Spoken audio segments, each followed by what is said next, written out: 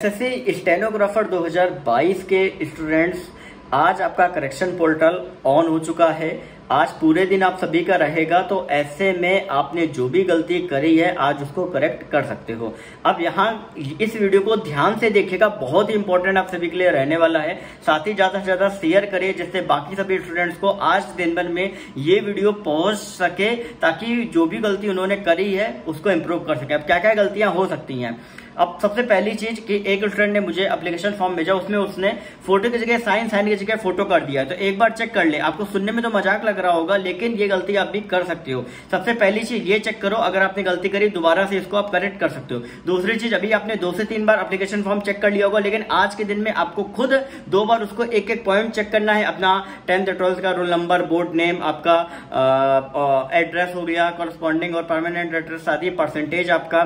साथ ही अगर आप चाहो तो अपने भाई बहन से भी आप इसको दोबारा से चेक करा सकते हो कि, क्योंकि खुद गलती कई बार नहीं दूर पड़ते, भाई बहन वगैरह गलती ढूंढ लेते हैं, दोस्त वगैरह उनसे एक बार चेक कराओ।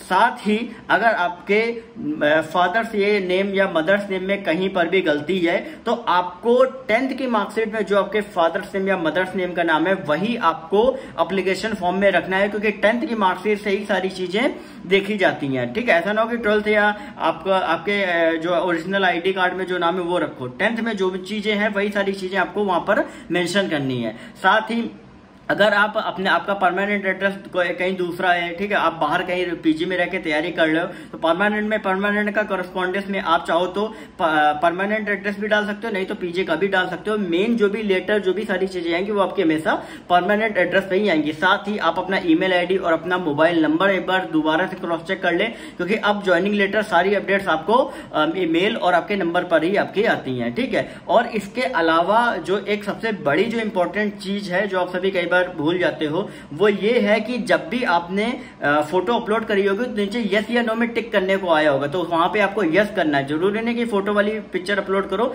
लेकिन यस या नो में यस ज़रूर ध्यान से करिएगा नो मत करिएगा, करोगे तो फॉर्म रिजेक्ट हो जाएगा। तो इतनी कुछ बेसिक बेसिक सी चीज़ें हैं, साथ ही एक बार अपना जो नेम है, वो अपना टेंथ की मार्कशीट से एक बार नेम मैच कर लीजिएगा, ठीक है? ये बेसिक सी चीज़ें नहीं और आपका कैटेगरी जो है, वो एक बार देख लीजिएगा, सही कैटेगरी भरा है या नहीं भरा है। इतनी बेसिक सी कुछ चीज़ें देख लीजिएगा, बाकी आप चैनल को सब्सक्राइब करते रहिए टेलीग्राम ग्रुप को ज्वाइन करिए। सारी अपडेट्स मैं बार बार मैं अपडेट्स आपको देता रहता हूँ तो आप उसके लिए बेल नोटिफिकेशन को ऑल में कर दीजिएगा, आपको सारी एक एक करके अपडेट्स आपको मिलती रहेंगी। साथ ही स्ट्रेटेजिक वीडियो भी अब आपका आएगा एप्लीकेशन फॉर्म कंप्लीट हो गया है। स्ट्रेटेजिक वीडियो हर एक सब्जेक्ट में, हर एक टॉपिक को किस तरीके से आपको कवर करना है क्या क्या चीज़ें पढ़नी है क्या क्या इंपॉर्टेंट टॉपिक्स आपको सभी को देखने हैं, उसके लिए मैं अलग से एक वीडियो आप सभी के लिए ले आऊँगा। ध्यान से उस वीडियो को पूरा अच्छे से देखिएगा और बाकी अपडेट्स के लिए चैनल तो सब्सक्राइब किया ही होगा आप सभी ने, ठीक है?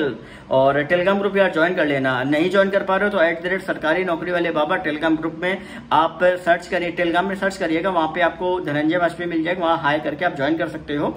और साथ ही इंस्टाग्राम पर आप अपनी पर्सनल जो भी क्वेरी है, वो भी आप चाहो तो पूछ सकते हो। इंस्टाग्राम पर भी एट सरकारी नौकरी वाले बाबा। S A R K A R I N A U K R I B L A B A B A आप सभी को लिखना है। और ज़्यादा से ज़्यादा अगर आप हैशटैग भी यूज़ करोगे तो भी आप मेरे को कहीं ना कहीं आप पालोगे, ठीक है? फेसबुक पर भी आप चाहो तो धनंजय वाजपेयी नाम से आप मेरे से जुड़ सकते हो, पूछ सकते हो सारी अपनी क्वेरी इतने सारी चीज़ें मैं आपके लिए दे रहा हूँ कि आपका कोई भी डाउट है, आप खटाखट से पूछो। मैं कोशिश करूँगा फेसबुक इंस्टाग्राम पर मेरे लिए बहुत ज़्यादा आसानी होगी तो वहाँ पूछोगे तो ज़्यादा बेटर रहेगा। इंस्टाग्राम चलिए टेलीग्राम ग्रुप पर क्या होता है कि ग्रुप में इतने मैसेजेज आते हैं तो मैं देखता हूँ, लेकिन एक दिन मैं बैठ के देखता हूँ तो उसमें क्या होता है कि अर्जेंट वाले मैसेज जो है, वो कहीं ना कहीं आप स्किप हो जाते हैं टाइम लग जाता है, ठीक है? तो ध्यान रखिए, बाकी तो आप सभी जानते ही हो, ठीक है? ओके